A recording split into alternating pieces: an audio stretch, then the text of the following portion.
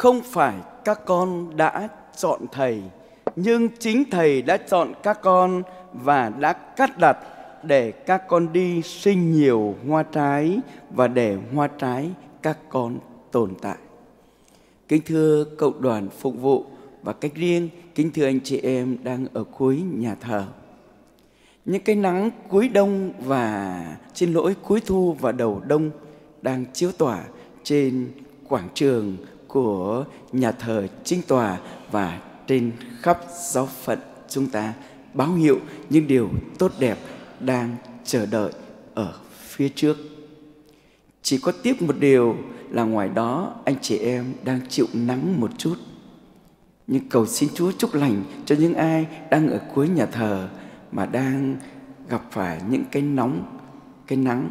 Xin Chúa bao bọc, trở che và nâng đỡ anh chị em để chúng ta cùng dâng lên Chúa của lễ hy sinh giúp cho cuộc lễ của chúng ta được trọn vẹn. Xin cảm ơn anh chị em. Toàn thể giáo phận chúng ta vui mừng, nhưng có lẽ người vui mừng hơn cả đó là Đức Cha Phêrô của chúng ta. Ai gieo mà chả muốn mình đến ngày có những kết quả gặt hái.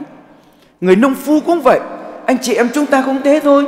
Nuôi con cái mà đến ngày nó trưởng thành, nó sinh hoa kết quả thì đó là điều rất đáng mừng. Đức cha đáng kính của chúng ta đã gieo, đã vun, đã trồng cùng với các cha trong ban đào tạo và toàn giáo phận để hôm nay chúng ta có hoa trái tốt lành đó. Xin cộng đoàn một tràng pháo tay để cảm ơn Đức Cha và chúc mừng Ngài.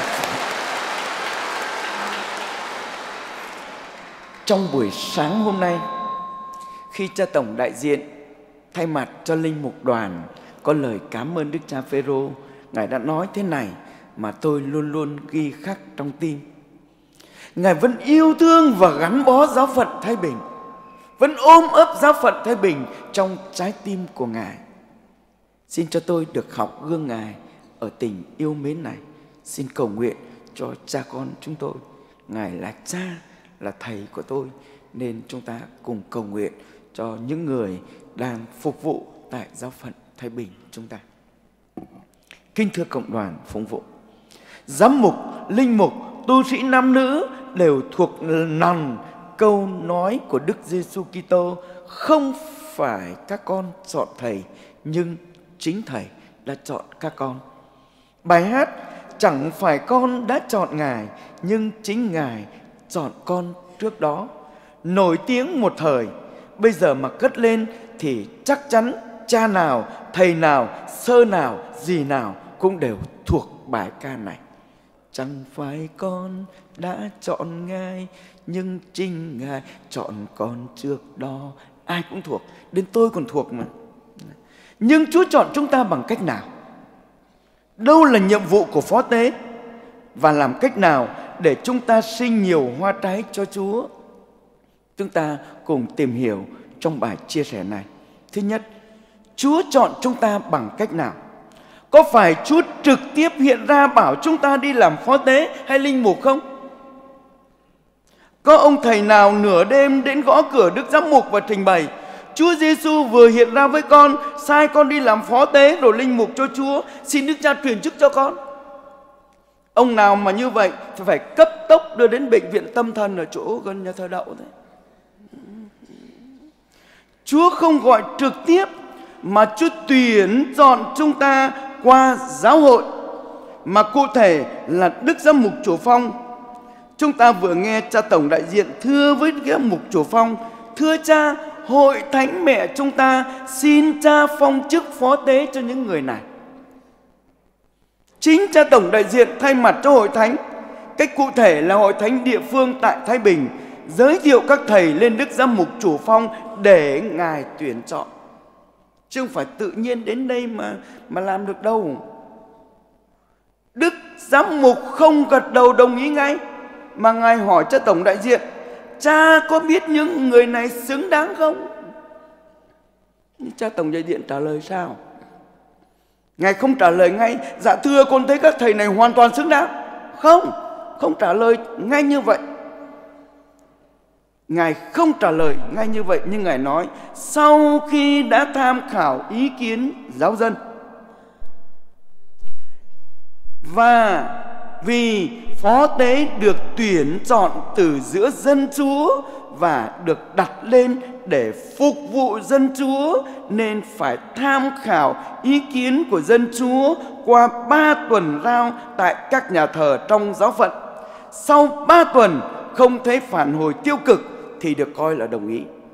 Đây không phải giáo hội hay là tòa giám mục tự đặt ra cái này. Cái này có nền tảng trong bài đọc 1 và bài đọc 2 mà chúng ta nghe trong thánh lễ hôm nay. Chi tộc Levi được giao cho ông Aaron và được tuyển chọn giữa dân Chúa. Và trong bài đọc 2 Thánh Phaolô nói, những người này phải không bị ai thưa kiện gì nữa thế mới xứng đáng, nên chúng ta làm cái chuyện này là dựa trên kinh thánh chứ không phải tự bịa ra. Nhưng dân chúa chưa đủ mà còn qua sự biểu quyết của quý cha trong ban đào tạo tại đại chủng viện rồi quý cha trong ban tư vấn nữa. Các cha trong ban đào tạo cho nhận định, rồi quý cha trong ban tư vấn xem xét bỏ phiếu với phố, số phiếu tuyệt đối thì mới được. Chứ chỉ cần một cái phiếu đen thôi là đã phải dừng rồi. 12 vị trong ban tư vấn ngồi trên này này. Các vị bỏ phiếu. 12 trên 12 mới được, chứ 11 trên 12 cũng không được. Kinh khủng thế chứ là không đâu. Chỉ cần một cái phiếu đen thôi là đã phải xem xét rồi, rất kỹ càng. Mặt khác, trong những năm đào tạo, gồm 2 năm tu sinh 3 năm triết học, một năm thử và 4 năm thần học, vậy là bao nhiêu năm nhỉ? 10 năm. 10 năm à, Chúng tôi nói chuyện với một số các vị lãnh đạo. Các vị này đều lắc đầu lẻ lưỡi. Khí thế cửa à? Chả có trường nào đào tạo nhưng 10 năm Bác sĩ chỉ 5 năm. Có đi học thêm thạc sĩ và uh, ờ, doctora tức là tiến sĩ Thì là vài năm nữa. Trong 10 năm này lại được xem xét cẩn thận Và nhận định từng năm một một năm nhận định hai lần học kỳ 1 và học kỳ 2. Nếu không có vấn đề gì thì mới được tiến cử và tuyển chọn. Nói cách khác, nó khác các học sinh đại học. Anh cứ đủ điểm là đỗ. Đằng này nhiều người giỏi mà không được chọn vì không phù hợp. Không có ai có quyền đến đòi giám mục phải truyền chức cho mình. Có ông nào mà đến trình đức cha, con học giỏi toàn bộ các môn môn nào cũng 9-10 điểm. Xin đức cha phong chức cho con, thì chắc cũng phải tức tốc đem ông này đi bệnh viện tâm thần đó. À, không có cái chuyện đấy. Như vậy, sự tuyển chọn ở đây không chỉ một mình đức giám mục. Dĩ nhiên, ngài là người chịu trách nhiệm chính, nhưng còn là dân chúa, là quý cha, đặc biệt quý cha trong ban đào tạo và quý cha trong ban tư vấn làm thành một hội thánh địa phương hiệp thông với hội thánh toàn cầu để tuyển chọn các thầy. Quan trọng như vậy. Và như vậy, mọi người đều có trách nhiệm và tham gia trong việc tuyển chọn này. Nói tóm lại, chúa tuyển chọn các thầy qua hội thánh là chính chúng ta là giám mục, linh mục, phó tế, tu sĩ, chủng sinh và giáo dân. Trong chủng viện có rao ấy nha nào cả trong trùng viện đấy vậy, xin chuyển sang ý thứ hai, đâu là nhiệm vụ của phó tế? Thì nhiệm vụ phó tế cũng được thấy ở trong các bài đọc thánh lễ hôm nay. Chúng ta trở về phần tiếp theo của nghi thức phong chức, đó là nghi thức thẩm vấn. Đức giám mục thẩm vấn các tiến chức phải công khai nói lên quyết tâm của mình trước những nhiệm vụ sắp được trao phó. Lát nữa chúng ta sẽ tham dự và chứng kiến Bây giờ chỉ nói sơ sơ thôi Đức Giám Mục hỏi các thầy, Có hứa bằng lời đáp, Thưa con muốn Thứ nhất, Hứa chu toàn nhiệm vụ phó tế Với lòng bác ái khiêm nhường để trợ giúp hàng tư tế và hướng dẫn giáo dân thăng tiến. Trợ giúp hàng tư tế, tức là linh mục và giám mục hàng tư tế và giúp giáo dân thăng tiến. Hai, gìn giữ mầu nhiệm đức tin, rao giảng đức tin ấy đúng phúc âm và truyền thống của hội thánh bằng lời nói và việc làm. Các thầy đã có được quyền rao giảng. Nhưng mà rao giảng theo truyền thống của hội thánh không chỉ bằng lời nói mà bằng việc làm. Thứ ba, sẵn sàng giữ sự độc thân tức là sống khiết tịnh vì nước trời. Bốn, gìn giữ và gia tăng tinh thần cầu nguyện, trung thành chu toàn các giờ kinh phụng vụ, cầu nguyện với dân Thiên Chúa, cho dân Thiên Chúa và cho toàn thế giới. Không chỉ cho mình, cho dân Chúa và cho toàn thế giới. Thứ năm, không ngừng sống rập theo mẫu gương của Chúa Giêsu Kitô. Thế xin hỏi cộng đoàn trong năm điều ấy, điều nào khó nhất? Điều nào khó nhất? Dạ thưa, điều thứ năm là khó nhất. Điều cuối cùng là khó nhất. Bốn điều kia các thầy đều thưa, thưa con muốn. Nhưng điều thứ năm thì các thầy thưa, thưa nhờ ơn Chúa giúp con muốn. Nhưng điều trên là thưa con muốn. Nhưng sau là nhờ ơn Chúa giúp con muốn phải có ơn Chúa. Điều nào thì cũng phải nhờ ơn Chúa hết. Vì Chúa nói không có thầy chúng con không làm gì được. Nhưng điều thứ năm này phải nhờ cách đặc biệt không những nhờ ơn Chúa mà còn phải nhờ sự cầu bầu hỗ trợ của Đức Mẹ và các thánh nữa cơ. Tại sao điều này lại khó như vậy? Để hiểu hơn, chúng ta phải đọc cả câu hỏi của Đức Giám Mục ở điều thứ năm này.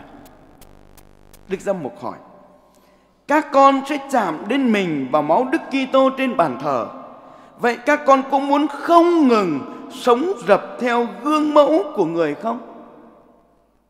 Không ngừng sống dập theo gương mẫu của Đức Giêsu Kitô là mình và máu, là tấm bánh, là chén rượu. Như vậy có nghĩa là gì? Thưa, nghĩa là các con muốn trở thành tấm bánh và chén rượu cho anh chị em mình như Chúa Giêsu Kitô. Các con muốn sinh nhiều hoa trái như thầy Chí Thánh Giêsu ước mong. Để trở thành tấm bánh thì đương nhiên phải bị nghiền nát như hạt lúa miến. Phải nghiền nát như hạt lúa miến. Để trở thành chén rượu thì phải chịu ép như những trái nho. Những trái nho ép mới làm nên chén rượu đây. Những hạt miến phải chịu nghiền nát mới thành làm nên tấm bánh. Chúng ta lại trở lại nghi thức mà quý thầy thực hiện ngay sau lời tuyên hứa, đó là nghi thức phủ phục trong lúc hát kinh cầu các thánh. Nghi thức này vừa nói lên sự hiệp thông trong mầu nhiệm các thánh cùng thông công, vừa khẩn nài sự trợ giúp của các ngài. Nghi thức này cũng mang tính tông truyền vì trong kinh cầu các thánh truyền chức có sướng tên 12 tông đồ. Đây là điều khác biệt với kinh cầu các thánh trong nghi thức khấn dòng của các tu sĩ nam nữ. Khác đấy nha. Nghi thức truyền chức kinh cầu các thánh khác nghi thức khấn dòng. Trong nghi thức khấn dòng của tu sĩ không nhắc đến 12 tông đồ, chỉ nhắc một hai ông thôi. Còn nghi thức truyền chức phải nhắc đủ 12 tông đồ. Nói lên tính truyền thống trong giáo hội. Phủ phục trong lúc hát kinh cầu các thánh là nghi thức cảm động nhất trong các nghi thức phong chức. Các thầy dòng phủ phục ấy thì còn lấy chiếc khăn to tướng ấy, trùm kín nhé. Con đi dự cái lễ lễ khấn của các thầy ở dòng tiểu mội thánh doan tẩy giả ở phú lễ con thấy các thầy nằm thấp xong là trùm kín cái khăn đen này trông khiếp khủng, trông kinh lắm, nhưng mà rất ý nghĩa. Và vậy thì nghi thức phủ phục này bắt nguồn từ nghi thức nào của thuần thánh hay tam nhật vượt qua?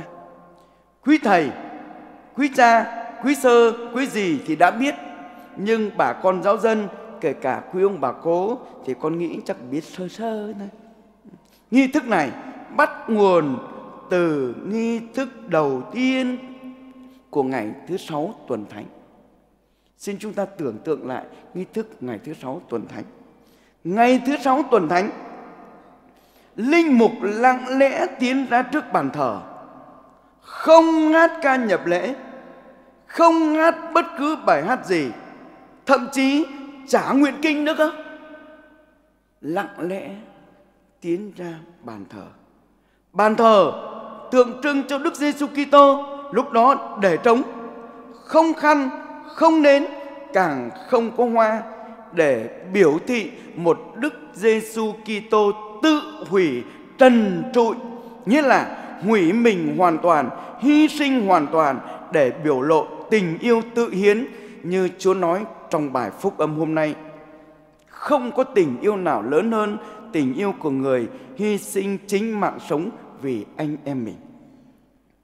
Linh mục lặng lẽ bước ra và phủ phục trước một Đức Giêsu Kitô trần trụi bầm dập, không còn hình tượng người như khi trước để xin thầy Giêsu giúp mình biết tự hủy để yêu anh em bằng tình yêu hy sinh như chính thầy trăn trối trước khi đi chịu khổ nạn.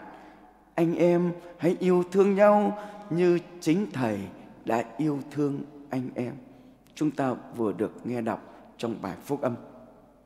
Giáo hội cho chúng ta đọc bài phúc âm hôm nay cùng với nghi thức phủ phục của các tiến chức để nhắc nhở mọi người cách riêng các tiến chức phải tự hủy, phải từ bỏ cách tôi ích kỷ, phải chết cho tội lỗi, tức là phải chịu nghiền nát, chịu nén ép thì mới có thể trở thành tấm bánh bẻ ra và chén rượu rót đầy trao tặng cho anh em mình. Cực kỳ khó, cực kỳ khó nên phải nói nhờ ơn Chúa giúp và nhờ lời chuyển cầu của Đức Maria và toàn thể các thánh trên trời. May ra mới có thể thực hiện được một phần của sự tự hủy này. Chúng ta mong muốn tự hủy hoàn toàn, phải cầu xin, phải nỗ lực, phải hy sinh thật nhiều. Nói cách khác, nếu hạt lúa mì rơi xuống đất không thối đi, không chết đi thì nó chỉ trơ trọi một mình. Nhưng nếu nó chết đi, nó sinh nhiều bông hạt. Còn nếu tình yêu nào nuôi dưỡng thế mà chết đi mà hiến dâng thì nó sẽ sinh nhiều bông hạt như bài hát hạt giống tình yêu chúng ta vẫn hát. Sống như vậy, chúng ta sẽ sinh nhiều hoa trái như lòng Chúa mong ước. Kính thưa cộng đoàn, một bài suy tư chia sẻ để cộng đoàn thông cảm cầu nguyện cho quý thầy tiến chức hôm nay, cho quý cha và cho quý đức cha nữa. Cầu nguyện cho quý tu sĩ nam nữ nhớ lại giây phút mình được mời gọi bước vào đời dâng hiến để nỗ lực mỗi ngày nên giống thầy Giêsu. Cũng xin cho mỗi người chúng ta trong cuộc đời thường cố gắng hy sinh cho nhau như thầy Giêsu đã mời gọi và nêu gương. Trong sứ điệp Ngày Giới Trẻ Thế Giới lần thứ 38 sẽ được tổ chức vào lễ Chúa Nhật, Chúa Kitô Vua tới đây có tựa đề Hãy vui mừng trong hy vọng. Đức Thánh Cha Francisco nói với các bạn trẻ rằng, trước các bi kịch của nhân loại, chúng ta đang thấy chiến tranh tại Ukraine và tại đất nước Palestine Do Thái. Bi kịch của nhân loại, trên nét và trước đau khổ của người vô tội. Hàng nghìn người vô tội, trong đó rất đông trẻ em đã bị chết một cách khốc liệt. Chúng ta có thể là câu trả lời của Thiên Chúa. Chúng ta trả lời cho câu hỏi của Thiên Chúa có thể là cách diễn tả tình yêu của người một tình yêu mang lại niềm vui và hy vọng ngay cả ở nơi dường như không thể chúng ta bắt gặp rất nhiều những gương hy sinh những sự phục vụ của chúng ta và kể cả anh chị em bên tôn giáo bạn. Chúng ta vẫn hy vọng ở điều đó. Giờ đây xin cộng đoàn tiếp tục tham dự các nghi thức tiếp theo trong tinh thần hiệp thông và cầu nguyện để việc cử hành và tham dự của chúng ta có thể góp phần đem lại bình an cho thế giới, đặc biệt là những nơi vùng chiến sự đang xảy ra. Amen.